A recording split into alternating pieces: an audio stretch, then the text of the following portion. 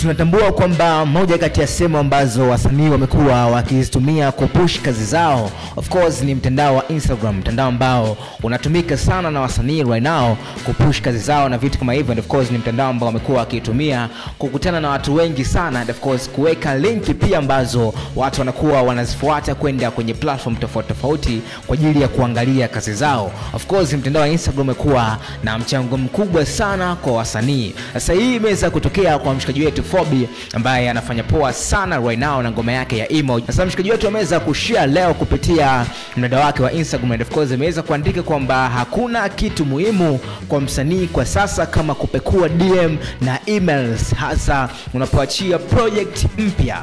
Pekua mpaka chini huko, maana DM na emails za pongezi huwa ni nyingi mno.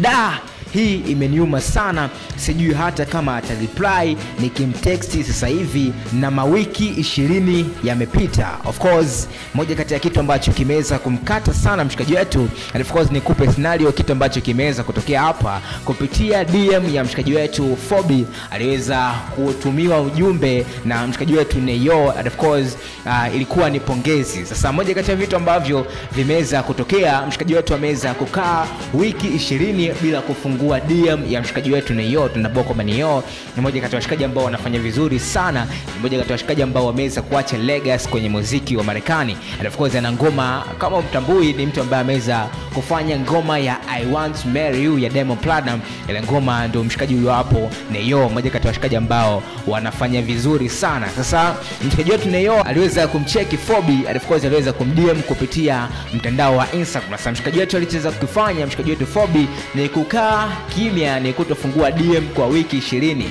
Natambua kwamba Fobi na Neyo ni level mbili tofauti kabisa, ndio tunavyozungumzia.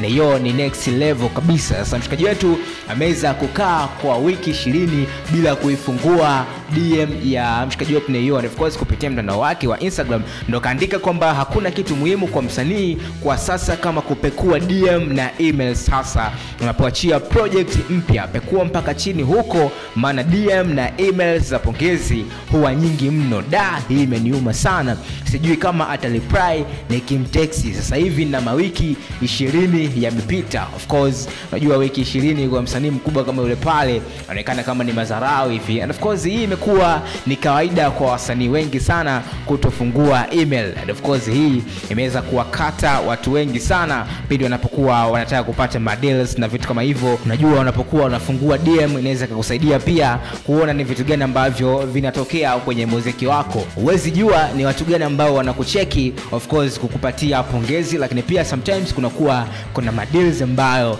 yanakuwa yanatokea. Of course Fobi aliweza kuwashauri wasanii wenzake wawe na utaratibu wa kufungua DM zao, kwa sababu huwezi jua ni kitu gani ambacho kimetokea kwenye DM yako. And of course huyo ni Fobi, mshikaji wetu ambaye ameweza kuwaasa wasanii wenzake waweze kufungua DM, kwa sababu kuna michongo mingi sana ambayo inakuwa inatokea, mambo ya pongezi na vitu kama hivyo. And of course ameweza kujiuliza kwamba mshikaji wetu Neyo atamjibu au itakuwa kwa vipi. Wewe pia unaweza ukaweka mtazamo wako hapo kwenye sehemu ya comment, ukaniambia unalichukuliaje swala la mshikaji wetu Fobi kuweza kukaa wiki kama ishirini hivi kutajibu DM ya Neyo. Mimi naitwa Abdul Panther, and of course hizi ni hela za kwanza, mpaka wakati mwingine tena, chao chao.